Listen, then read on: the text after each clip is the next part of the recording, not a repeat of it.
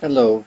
I uh, I want to talk to you a little bit more about education and mind in the knowledge age, Carl Bereiter's book, because uh, one of your readings this week is chapter one, and um, it's about our oldest unchallenged folk theory.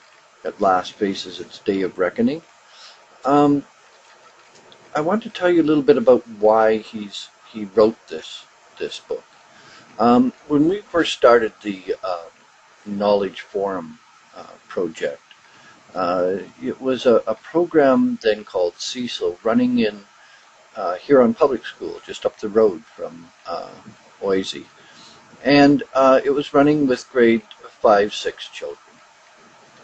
And it became apparent that this was a different sort of endeavor than we had taken on before, in that the students were asked to not only take on mastering content, but to go beyond that, to actually pull content together and and strive towards actually putting new knowledge together that um, they weren't being spoon-fed.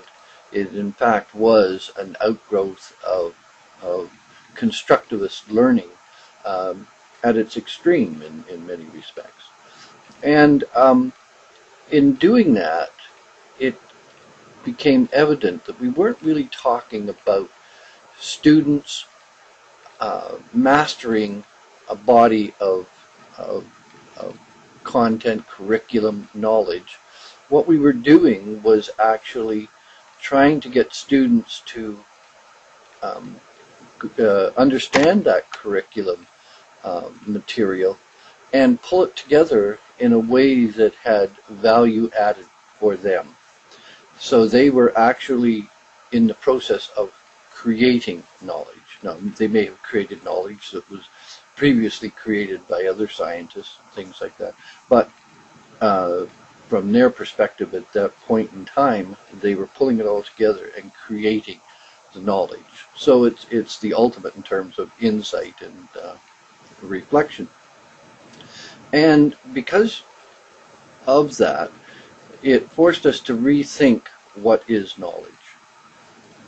And in that respect, uh, Bereiter was also uh, reflecting on a new movement in that time in the 90s, uh, which looked at neural processing of, of information and neural networks and looking at the fact that when the neural network ran, information wasn't encoded someplace in the, the network. It was a result of the network interacting. And that became a, a pretty strong metaphor for thinking how the mind could also um, produce and work with information um, without it actually being stored in the mind, that it was a result of the interaction. And in this case, we started to understand not only the result of the interaction within the neurons firing within a student's head, but in fact the interaction between students. And when they were working with their ideas and bouncing ideas off of each other, it was a result of that interaction, the communal interaction, that we started to see new knowledge getting, getting constructed. Once you start to put knowledge as a result of the interaction as something that's outside the, the head, um, not something that has been placed in there in the filing cabinet metaphor. That gets you thinking about an entirely new way to think about what education is, what it, what what we should be doing, and how deeply we should be thinking about new ways that schools should be, be acting and teachers should be, be acting. And his book, Carl's book, Education, Mind, and the Knowledge Age, written in 2002, um, is uh, a complete response to that question. And when you finish reading all of that book, you get a much better understanding for why knowledge building is different than learning. Um, and many of the things that you'll be uh, struggling with. At this point, we want you to come up against those ideas if they're comfortable, great. If they aren't so comfortable, that's not something that you should worry about a lot. Um, it's enough that you're at this point noting that they're uncomfortable and trying to get a hold of what it is that you really feel is bothering you about about those ideas. And we'll talk more about that in class.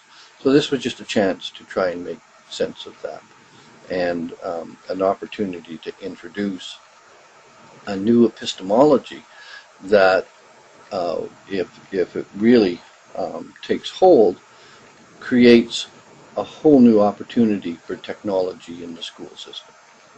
Okay? Enjoy.